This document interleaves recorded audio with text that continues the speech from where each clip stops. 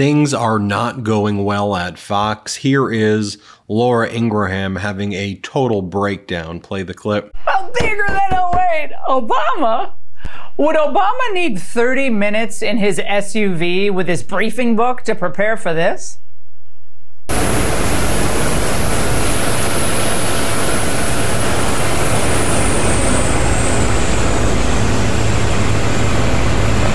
to keep you guys out late. Okay. Um, She opens the book. Then Jesse Watters, one of the main hosts at Fox, just leaning in on just insulting women over and over again. I guess they're getting those talking points from Trump and Shady Vance. Here is Jesse Watters saying that the problem with Vice President Kamala Harris is she's just a mediocre woman. Here, play this clip. And she's just an average woman, Kennedy.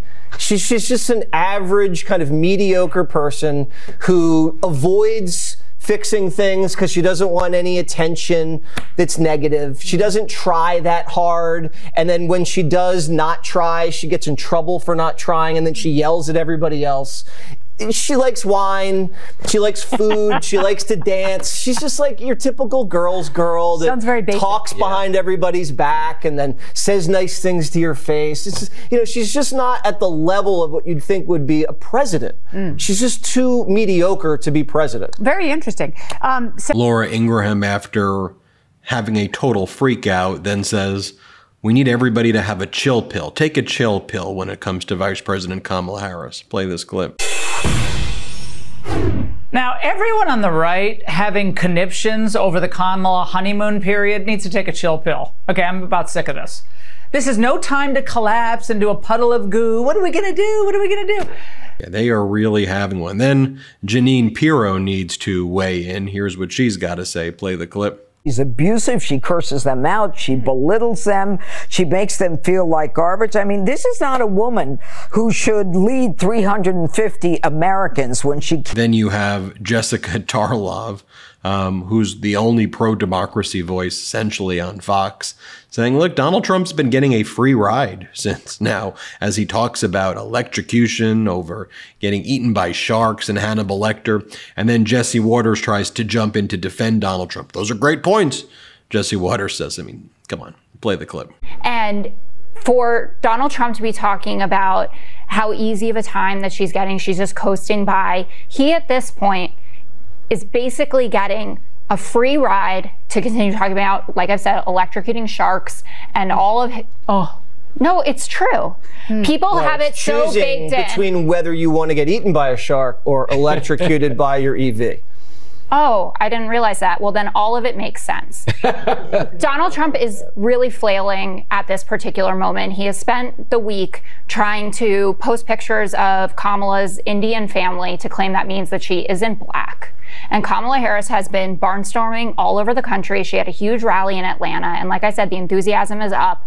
And the forecasts now are even slightly favoring her. Russ Then, as it's obvious that Fox has nothing to talk about in order to defend Donald Trump or go after Vice President Kamala Harris, Fox then does what it's always been doing, which is to uh, try to stoke fear through their culture wars that they always bring up. Here, play this clip. Now at a point where we're about to give gold medals to men for beating up women.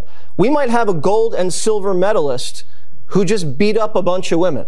They're going to stand up on the podium and get medals hung around their neck for punching girls in the face. no one is saying that they're men. They're not men. They're men. No, they're- okay. they're Everybody men. knows they're men, They're. Jessica. What- And if Trump were president, he would slap Algeria with sanctions. Yep. Harris. And you can see how inauthentic Laura Ingraham is here as well as she's trying to criticize Vice President Kamala Harris. She's like, that was a bad one. Like, what are you even talking about here? Play the clip. Because her brilliance about topics like Ukraine, it's just too much for most mortals to digest. I mean, listen, guys. We're talking about the potential for war in Europe. I mean, let's really take a moment to understand the significance of what we're talking about. Oh, yeah, that was a bad one. Yeah. Then they attack Vice President Kamala Harris for hugging people. Play the clip. Yeah, eh, now you get it. It's better for her to stay in her sweet spot as the hugger in chief.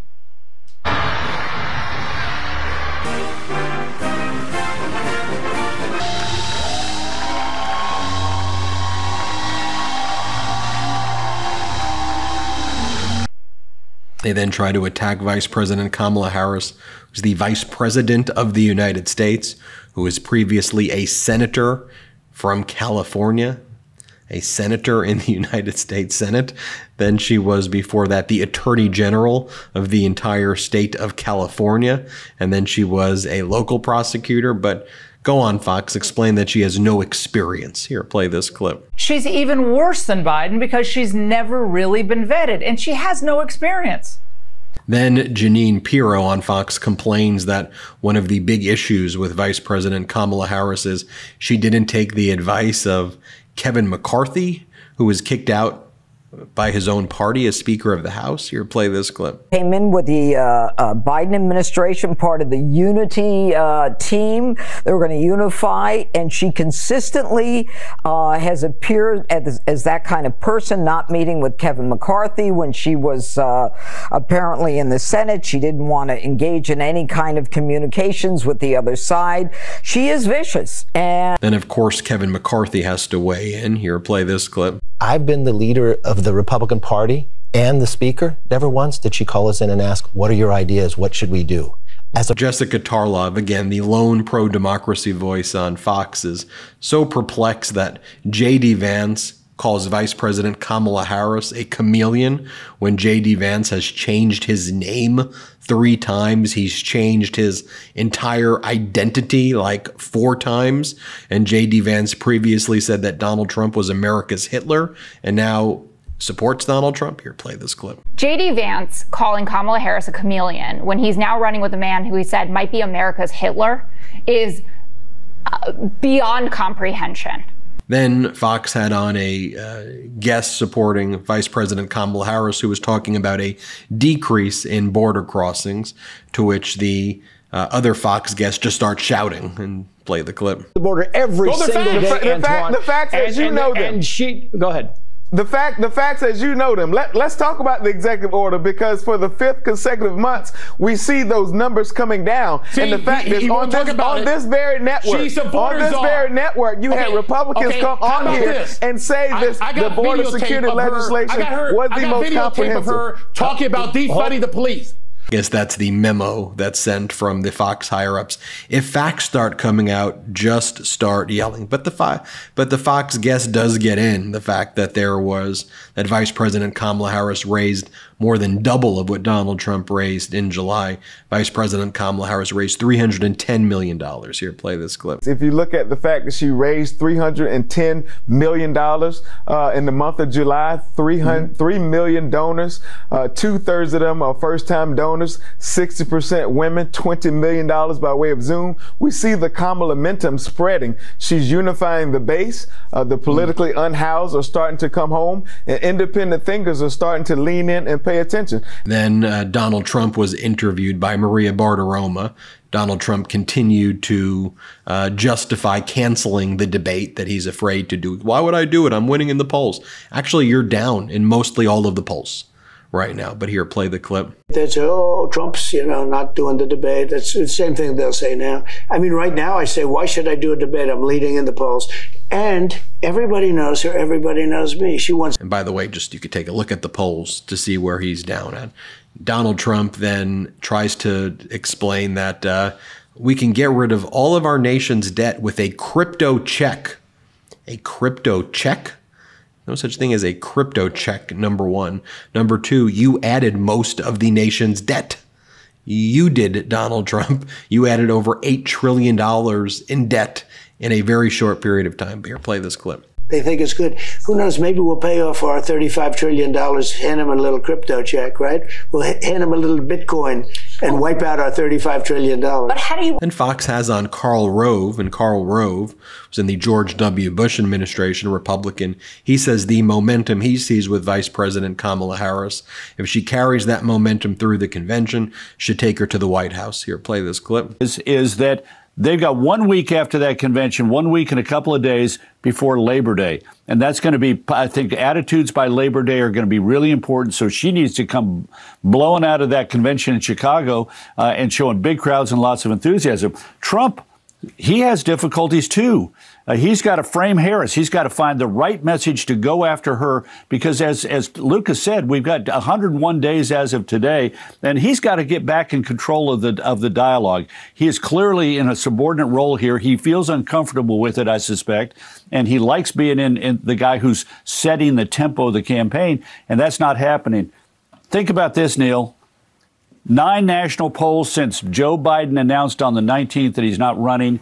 If you if you take those those nine polls, it is Trump by 0.88. That's basically nine tenths of one percent, and that's after he gets the bump coming out of the convention that uh, that really sh- showed a unity for the Republican ticket and the Republican Party. And so this is going to be a barn burner, and it's very much up for grabs. And the next two or three weeks are going to be critical for both camps. More Jeanine Pirro trying to stoke a culture war over here. Play the clip. So you want to talk about the International Boxing Association being corrupt? The IOC is just as corrupt, Amen. and they've got But their they- morals backwards. these- They're calling these people victims. They are not victims. They are perpetrators. They are abusers, and they're allowed to destroy the dreams of young women who have worked their whole lives to get there. Shame on them. Yeah, we stand with women, Jessica. That's right. Up Okay, next, that's Com- Here's more of Kevin McCarthy whining. Play the clip. Mr. Speaker, your thoughts. Oh, yeah, yeah. Well, first you realize there's no teleprompter there. And I've, I've known the vice president for a long time. She always starts very strong in a campaign, even for her presidential campaign, 40,000 people in Oakland. But then she couldn't even make it to Iowa, even for her Senate race, even for her attorney general race. By the way, we previously prepared this video at the MeidasTouch Network to show you all of the kind of culture war things that Fox has tried to do over the past few years to distract from talking about dishwashers to Dr. Seuss and Mr. Potato Head and whatever the uh, culture war is, Bud Budweiser or Bud Light or all these things to try to distract people and divide us. Here's the video we created at the MeidasTouch Network. Play the clip. The problem is they are a weird political party. M&Ms will not be satisfied until every last cartoon character is deeply unappealing until the moment you wouldn't want to have a drink with any one of them. These 26 QAnon people. Q is a patriot. QAnon believers lined up on the grassy knoll. It's the site of the JFK assassination. They believed that the president's late son, JFK Jr., would miraculously appear and that he would help Donald Trump take back power. I want to talk about the real pandemic child sex trafficking. By putting masks on these kids' face, you guys support sex trafficking. Have you been a good little Nazi? It's not necessarily the extreme. I mean, these are people that talk about testicle tanning. Testicle tanning. It's testicle tanning. Half the viewers right now are like, what? That's cr- testicle tanning? That's crazy. But my view is, okay, testosterone levels crash and nobody says anything about it. That's crazy. By and large, a large part of the Republican Party is just out and out weird. Then all of a sudden you get invited to like, well, hey, we're gonna have kind of a, a, a sexual get together at one of our homes. You should come. And then you realize they're asking you to come to an orgy. You got a lot of really crazy people. The frontrunners of the Ohio Republican Senate race got into a heated fight. When do we invade Australia and free an oppressed people? In Florida, the state education department rejected more than 50 math textbooks for promoting critical race theory. The Democrats are the party of princess predators from Disney. Disney stepping in saying, you know, in every episode now they're going to have Mickey and Pluto going at it. Like, really? No more Disney World! The land! The antidote that we've seen now is urine therapy. Satan's controlling the church. Calling gingerbread men a gingerbread person when obviously they're men. Mr. and Mrs. Potato Head. Dr. Seuss. Dr. Seuss. Dr. Seuss. Wind. They say the noise causes cancer. So absolutely normal. Yep. They're really like odd ducks. Tell me what you thought about that video. Um, Fox in a total meltdown mode. We'll keep you posted here on the MeidasTouch Network as we learn more. Hit subscribe because we're on our way to 3 million subscribers here. Number one watched media network on all of YouTube, more than CNN, MSNBC, and Fox, and that's thanks to you. Spread the word about this network and hit subscribe. Love this video? Make sure you stay up to date on the latest breaking news and all things Meidas by signing up to the MeidasTouch newsletter at meidastouch.com slash newsletter.